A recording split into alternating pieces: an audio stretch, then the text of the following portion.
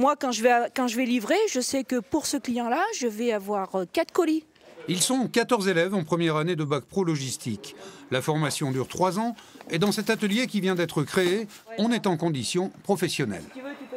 Ça fonctionne comme une entreprise. On est sur un plateau technique où euh, les élèves sont destinés à faire des métiers de cariste, de préparateur de commandes. Et donc là, ils sont mis en situation à travers un atelier. Il leur faut apprendre tout ce qui a trait à la réception des marchandises, la préparation des commandes et la gestion des stocks. J'ai des codes bas que je mets sur chaque carton en fait. C'est juste pour nous aider à référencier les cartons en cas de préparation de commande. Déjà, dès qu'on te donne un code, tu sais déjà le carton il est dans quelle allée et sur quel rack. Question manutention, il faut apprendre à conduire les chariots. Et ça ne fonctionne pas tout à fait comme une voiture.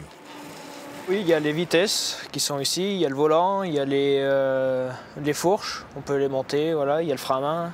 Et alors la difficulté c'est quoi là? C'est le passage des portes. Avec une charge longue, et eh ben c'est dur quand on débute. Ça touche des fois? Oui, oui c'est euh, assez souvent que ça touche.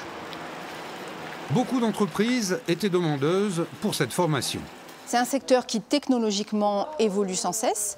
Euh, et puis c'est euh, aussi un secteur qui permet aux entreprises de faire des gains de productivité. Dans le secteur de la logistique, il y a une grosse demande de personnel qualifié. Donc, lorsque ces élèves auront leur bac pro, ils n'auront même pas besoin de traverser la rue pour trouver un job.